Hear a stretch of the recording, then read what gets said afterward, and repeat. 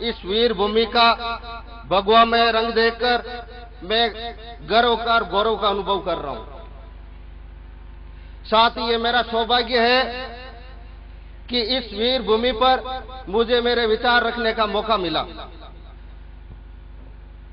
साथियों सबसे पहले नमन करता हूँ उन शहीदों को, वीर पुरुषों को महापुरुषों को, जिन्होंने मातृभूमि की रक्षा के खातिर एक शाम तो क्या शरीर का हर कण जीवन का हर क्षण इस देश के चरणों में अर्पित कर दिया। साथियों, ये भारत बहुरत्ना वसुंधरा है। इस देश में 200 साल तक अंग्रेज़ों का राज रहा, लेकिन कभी भी किसी हिंदुस्तानी ने उसको दिल से स्वीकार नहीं किया। कोई भी साल ऐसा नहीं गया होगा कि लोग लोग इस आज़ादी के लिए अपने आप को आहूत नहीं किया होगा, अपने आप को मिटाया नहीं होगा। ये हमारा इतिहास रहा है, ये हमारी परंपरा रही है। तो मैं आपसे आह्वान करता हूँ, ये ये परंपरा निरंतर पीढ़ी दर पीढ़ी संक्रमित करने का हमें निरंतर प्रयास करना, करते रहना चाहिए। और साथियों, कोई भी समाज या धर्म या राष्ट्र जब इतिहास को भूल जाता है तो इतिहास रचने की ताकत भी खो देता है। कुछ लोग सोचते हैं कि भारत का इतिहास एक परिवार से शुरू होता है और एक परिवार तक सीमित रह जाता है। तब प्रश्न खड़ा होता है, साथियों, हमारे शहीदों ने रावी नदी के तट पर किस बात की शपथ ली थी मातृभूमि का अभिषेक स्वयं के रक्त से किया गया। क्या कारण था? आज़ादी के लिए भगत सिंह राजगुरु सुखदेव ने फांसी के फंदे को हँसते हँसते गले से लगा दिया था। और अंडेमान काली कोटरी के बीच वीर सावरकरों ने आज़ादी के गाथाएँ अपने हृदय के रक्त से लिखी थी। क्या ऐसे हिंदुस्तान की कल्पना की थी? क्या और जब भगत सिंह की माँ से फांसी के फंदे पे झूलने वाले भगत सिंह की माँ से किसी ने पूछा, माँ, तुम शहीद की माँ होकर के आँख में आँसू लाती हो?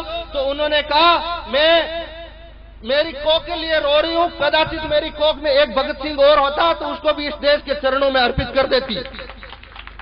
लेकिन साथियों, आप दिल्ली में बैठे लोग उनको भूल गए। हैं यदि जरा भी उनको याद रखते तो आज इस देश के हालात ऐसे नहीं होते।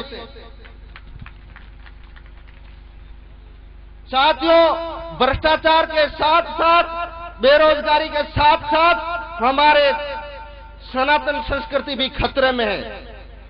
प्रश्न खड़ा होता है, पूरे विश्व में सनातन संस्कृति का प्रचार करने वाले विवेकानंद जी महाराज, आज हमारे बीच में होते तो क्या होता?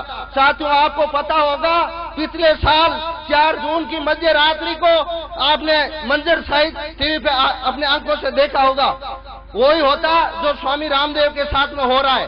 पूरी दुनिया के सपोन सेकुलर उनको नोच लेते। उनके ऊपर तरह तरह के आरोप लगा करके और इस देश की सीबीआई को उनके पीछे लगा करके पीछे लगा देते। सबसे बड़ा दुख जब होता है, हमारे भगवा वस्त्र धारण किए हुए संतों को जब उग्रवादी, आतंकवादी कहा जाता है। पिछले कुछ दिनों पहले आपने सुना होगा या मैंने भी न्यूज़ में देखा, आपको पता होगा, एक विकीलीक्स ने खुलासा किया था, जिसमें जो कांग्रेस जिसको युवराज मानती है, और वो भी अपने आप में इस देश का प्रधानमंत्री बनने का सपना सुनते बैठा है, उसने एक अमरीकी विदेश मंत्री के सामने बयान दिया था कि हमें विदेशी आतंकवाद से खतरा नहीं है जितना भगवान आतंकवाद से है। तो मैं आज उस युवराज को बता देना चाहता हूँ कि तुम्हें भगवा का पत, इतिहास पता नहीं है। भगवा है पद्मनी ज़ोर की ज्वाला और जिस दिन ये भड़केगी तुम तो क्या तुम्हारी सरकार को भी इस हिंदुस्तान में बचाने वाला कोई नहीं होगा। साथियों गाय को हिंदू धर्म में माता का दर्जा दिया गया है। इस देश में सुप्रीम कोर्ट के बार बार टोकने के बावजूद गुजरात को छोड़कर पूरे हिंदुस्तान में गो हत्याएँ हो रही है। जिस गो माता की रक्षा के खातिर वीर तेजाजी महाराज ने अपने आप को आउट किया